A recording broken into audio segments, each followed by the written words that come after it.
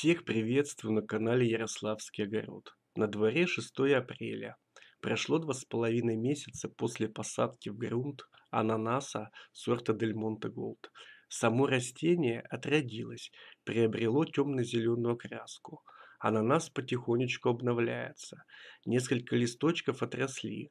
Однако большинство неспешно подсыхает, и надо полагать, на их месте должны вырасти новые.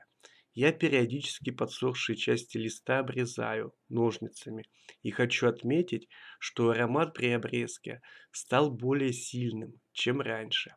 Аромат очень похож на всем известное домашнее растение на наших подоконниках – алоэ. Ананас растет очень-очень медленно. Поливаю обильно, но не чаще одного раза в месяц, а также опрыскиваю при поливе листья из пульверизатора. Спасибо за просмотр. Подписывайтесь на канал. Всем пока и удачи!